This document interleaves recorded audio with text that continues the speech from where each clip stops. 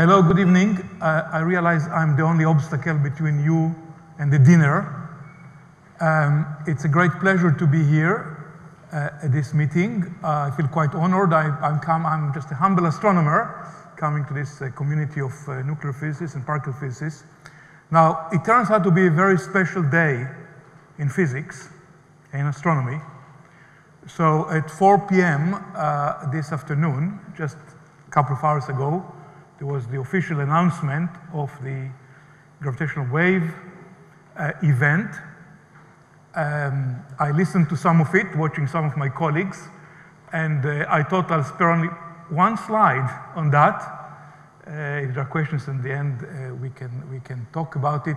Uh, I should say I'm not a part of LIGO or Virgo, but I'm part of the Dark Energy Survey, which happens to have a nice camera that observed a, an optical appearance. So for those who haven't followed what happened, because there was an embargo until 4 o'clock, in fact, I, I, did not even allow myself to, to load the, the presentation because I thought it's so, such a secret, right? Uh, so what, essentially what happened in, uh, on, in August the 17th, the LIGO uh, plus Virgo, uh, which is here in Italy, right? Uh, detected uh, yet another signal of gravitational waves. The previous four were all mergers of two black holes, and this was different as a merger of two neutron stars. Now, the exciting thing here is that with black holes, when they collide, because they live just, they're in a vacuum, at least the textbooks say that there will be no electromagnetic radiation. And in fact, nothing was found. It doesn't mean that it cannot happen, but nothing was found. With this one, the textbooks tell us that there would be uh, electromagnetic radiation, and indeed that's what has been found. So what happened here is that uh, 70 observatories were involved, and uh, half a dozen or so actually detected it, and this is the picture from uh, uh, the dark energy camera, which, which in fact I'll talk about later in the context of neutrino mass, believe it or not. Uh, and um, so it turns out that the event, the gravitational wave event, uh, happened in a galaxy relatively nearby called, oh, sorry, called uh, NGC 4993.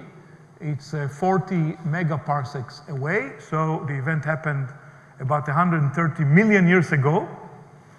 And um, within half a day or so, uh, among the other half a dozen or so observatories, uh, our project uh, discovered that uh, extra light there, this flash of light, and after two weeks or so, it has faded away. If we go from that picture to the light curve, so this is light against, or flux, log flux against time, you can see the decline of the light in different uh, bands, uh, and that's uh, associated with what's called a kilonova. Uh, so it's all very exciting. I mean, you can go to the, in fact, this paper led by uh, a colleague, uh, Soares, Marcel Suarez Santos, is just appeared. If you go to the DES website, you can see this and several other papers. we're doing some more in my own group with PhD student, uh, Antonella Palmese, in fact, an Italian, uh, and, and the postdoc Will Hartley. But uh, they said on the press conference that on one of the papers there are 3,500 authors. So I think we are now really competing with particle physics, right? Uh, so that's really in a nutshell, there's a lot on the LIGO website and in the news, and it's a big thing. But uh, I have to switch now to neutrino mass, otherwise, uh, you know, you'll ask for the money back. So I have to switch to neutrino mass. So uh, uh, let's see. So that topic is neutrino mass from cosmological surveys. Everything else we heard today has to do with uh, clever experiments you're all involved in. Uh, so I come from, from the astronomy side of things. And essentially, uh, what I'll talk a little bit about the history of hot dark matter. That's how it was known in the early days. uh, about how the, we improved the upper limit on the neutrino mass by about factor of 10 in 15 years, but still no detection of the sum of neutrino mass. But I think we're nearly there. And then a bit of forecast to the future, how to control systematics, how to do things a bit differently, and maybe how to let the terrestrial experiments and cosmological experiments to talk to each other. Um, so these are the big questions. In fact, we had very similar questions on the slides in the opening talk and uh, the one that followed. Uh, I think I'm talking here to really the experts, but we still don't know the absolute sum of neutrino mass, although from the oscillations uh, in some modeling, the lower limit is 0.06 eV. I'll come back to that magic number later. Uh, what's the hierarchy, normal or inverted? Is n effective 3.045, which is what the theory predicts? Uh, or larger, is there dark radiation in the form of uh, extra neutrinos, uh, sterile and the like, and, and is the neutrino its antiparticle. So just a bit of history, because I find it also fascinating how ideas change over, over time. So in the 1970s, uh, the Russian or Soviet school of cosmology at the time, led by Zeldovich, actually liked the idea that dark matter is made of hot, is made of massive neutrinos. And uh, in his model, what you'd get are so-called Zeldovich pancakes. So the massive neutrinos would wipe out structure on small scales, you'd leave the big things, and then would fragment. So this was the model, which now is not believed to be correct because the neutrino mass is not as big. Uh, the so problem with structure formation. Then there was this even some discussion about mixed cold dark matter and hot dark matter. And now, for quite a while, we have this uh, uh, win winner so far of a universe made of 4% uh, baryons, 26% cold dark matter, and 70% dark energy, which seems really to agree you know, with most observations, including our last study from Dark Energy Survey from August. Uh, I think it's interesting remark to make that, that maybe, uh, maybe it was good during the Cold War that the two schools of thought did not talk to each other, so they had different views, bottom up and top down. And actually the truth is somewhere in between. Now there's probably cold dark matter, we don't know what it is, and there is also dark matter, there is neutrinos. In fact, it's the only thing we know exists. So Zeldovich was also right, so everyone was right. And I think it's good maybe to have different groups thinking differently. Now, so what, what happens here, I alluded to it with, with Zeldovich pancakes, is it's kind of, uh, think of this little neutrino, which you are trying to capture in, in your experiments, what it does, it wipes out structure, right? And, and all we're trying to do is from the universe we observe, these are real data from the Sloan Digital Sky Survey. You can see a big wall here, and you can see this is 2DF, uh, a survey which went for 10 years. I was a member of that team as well uh, which had, again, those walls here. And it's just a universe with or without massive neutrinos would look a bit differently. So the more massive neutrinos you have, the more things will get wiped out. Uh, the less you have, the more blobby the, the, distribution is. Okay, that's the, that's the, the, the, and this is an example from a simulation. So here, you know, they put just for the sake of uh, illustration something cold dark matter with almost 2 eV neutrinos, and you see structure is washed out. If zero neutrino mass, you see that it's a very sharp image of the same structure, right? So that's what neutrino do. Uh, and this is the physics here that they, they, when they were still relativistic and they wiped out structure on small scales. And this is this kind of equation. I like this one. It connects the macro to the micro. So big M is the sum of M1 plus M2 plus M3. And omega nu is the density, normalized density of neutrino mass, and H is the Hubble constant squared. Right? So here is your small number from particle physics connected to the overall one in terms of omega. Um, so this I think I don't need to show to this audience, but it's more to remind to myself that we still don't know if it's inverted or uh, normal.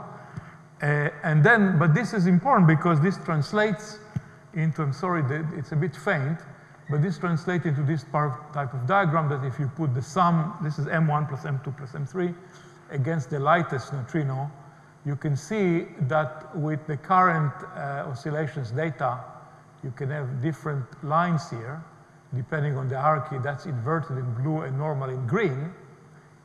And over there, you see it's degenerate. You cannot tell if the lightest one is, is relatively heavy, you cannot tell one from the other. But imagine it's much smaller, then you can start tell one from the other.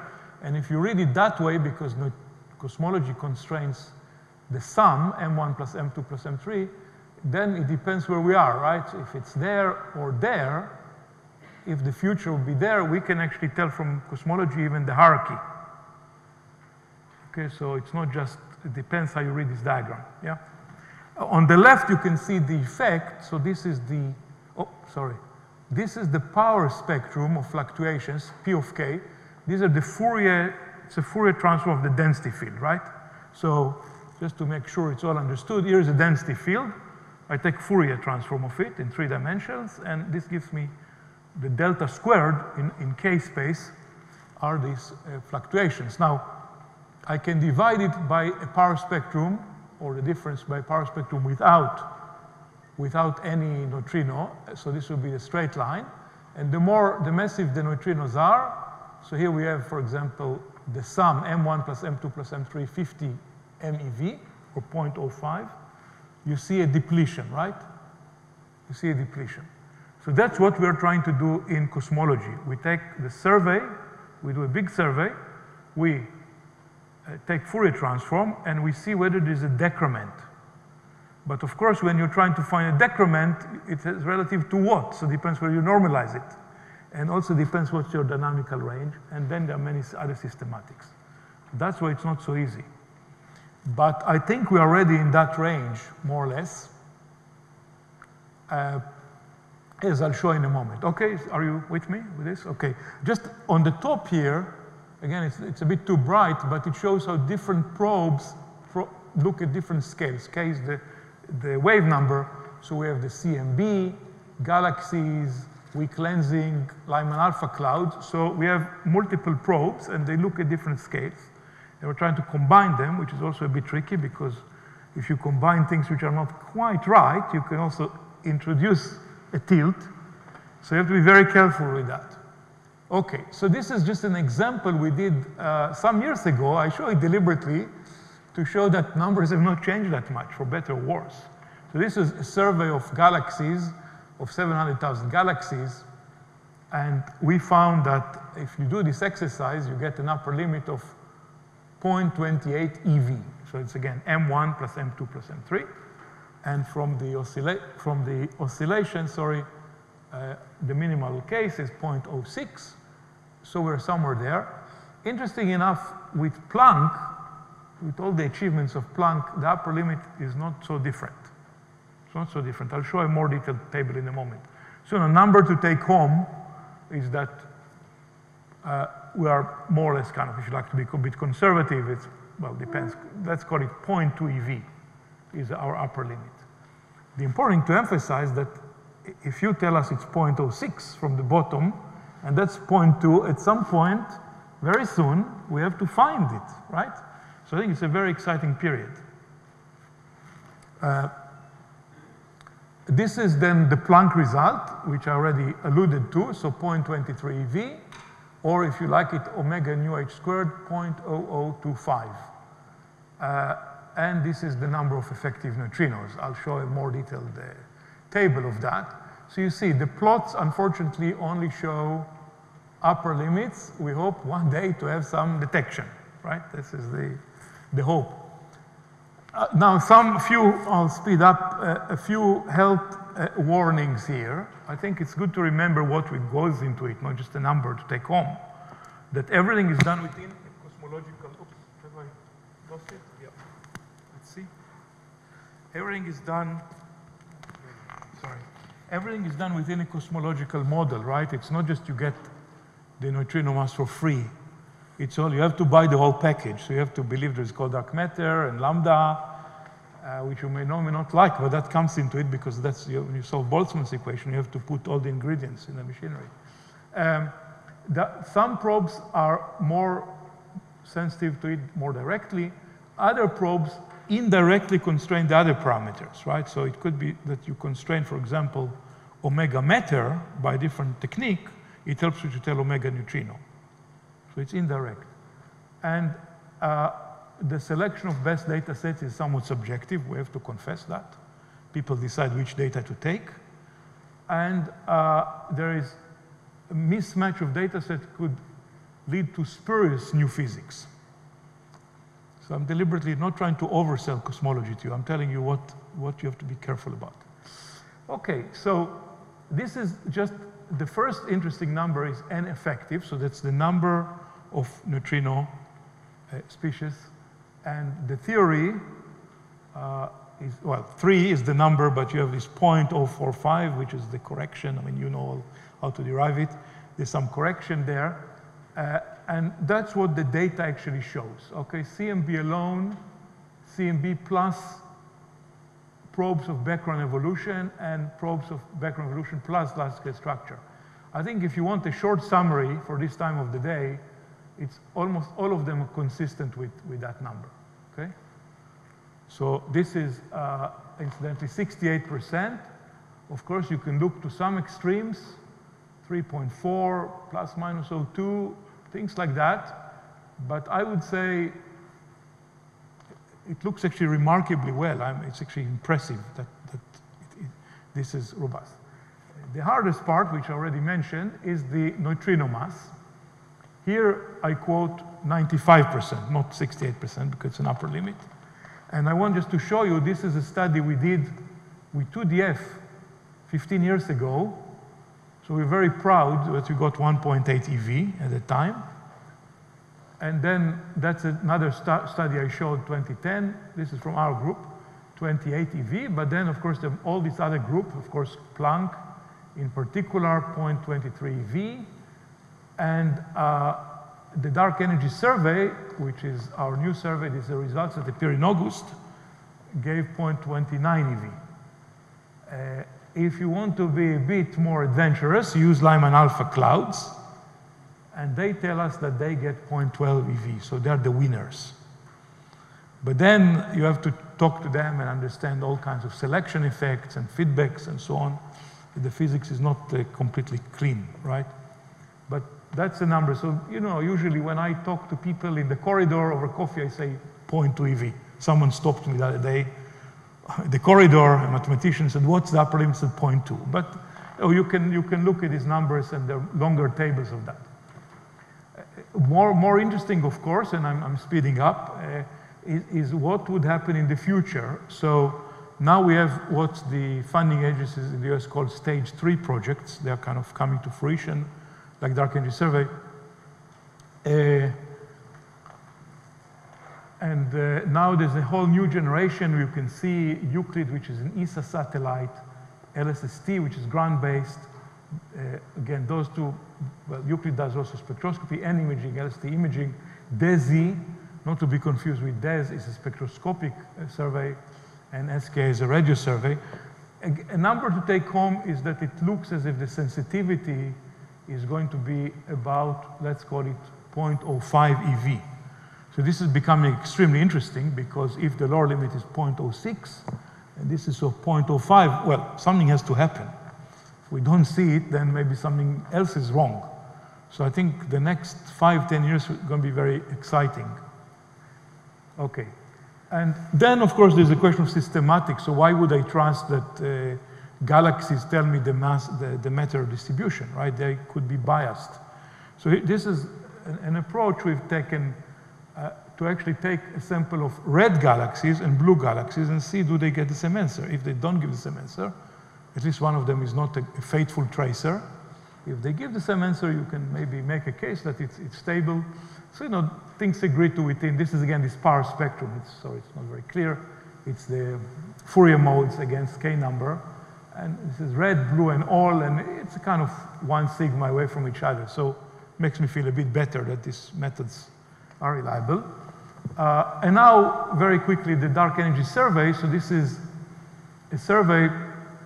Uh, I've been involved from in it from the early days. Uh, uh in fact, uh, it's, it's, a big collaboration. There are now 400 people there from seven countries. It's led by Fermilab. And at UCL, uh, we participated both the instrumentation, so part of this camera was actually assembled at UCL, and we also played leadership roles in the collaboration. I was the co-chair of science committee for many years. And it does many different things, cluster counts, weak lensing, large-scale structure supernovae. Uh, it will measure eventually about 300 million galaxies and thousands of supernovae. And we are now actually doing the fifth season of the observation. It's probably the last one. We might get some extension, probably the last one. Although occasionally we get distracted by requests to look at gravitational wave events. So that's what happens. The moment there is an alert, you have to look at that. I was actually at the telescope and there was an alert and it turns out this was the first, the first black hole case, but we couldn't observe because there was an earthquake of 8.3. So I experienced gravity in a different way that night. Uh, and uh, it's already, you know, there are 120 or so papers on the archive, including what just appeared today, uh, uh, several papers that came in connection with the binary neutron star event. Uh, this is also, for those of you who have never seen dark matter, here is dark matter. So that's a map you get from weak lensing reconstruction. So distant galaxies get distorted by the intervening mass. It's a very tricky exercise. Uh, and then you do a reconstruction. So everything in between you and the sources generates a distortion you're trying to see. Uh, although part of it is noise, I have to say, but we believe this is a real signal because if you look at the correlation, it, it makes sense, and you can use that also to define neutrino mass. So uh, this is kind of an interesting plot from the papers we had uh, in August, so it's on the archive. And these are two figures, 15 and 16 from that paper. And uh, well, time is short now, but uh, maybe I should kind of just explain uh, that this is uh, omega neutrino, sorry, omega matter, and that's the neutrino mass. And what you can see here is a big question in the community. If you do the analysis, should you fix the neutrino mass to be 0.06 eV? Or should you allow it to float? And for example, if you do Planck, with the 0.06 eV, it looks like that, the narrow one. If you don't, it's quite broad. And the same with dark energy survey. If you allow it to float, it's big. If you fix it, 0.06. So, you know, to fix or not to fix, this is the question, right? do you put it there? So there's this debate how to do things. Uh, and that's another plot which I don't have quite time to explain, but this gives, essentially this gives, a, a, just remind you, this gives an upper limit of, this exercise gives an upper limit of 0.29 EV. So it's not so much improvement relative to previous work, but it's nice to do it in a different way. Okay, and finally, this is the future where I said we'll go towards the 0.05 EV. So this is the experiments I mentioned, DESI and uh, LSST and Euclid. Uh, lots of things going to happen. This is DESI, uh, which is spectroscopic, so you will have 35 million uh, galaxies with redshift, which is about 10 times what we have now. And now we come to this, um, you know, you can show it to an undergraduate and make the undergraduate decide whether they want to be an astronomer or a particle physicist. I don't know which one is more exciting from this picture. Uh, but here there are, here's an earthquake occasionally, and here is, uh, I know you have to go through the streets in Germany, right? Uh, uh what I would like to say, however, is that um, there's another emerging area. So this is in the, in, in the spirit of what I said, to fix or not to fix 0.06 EV.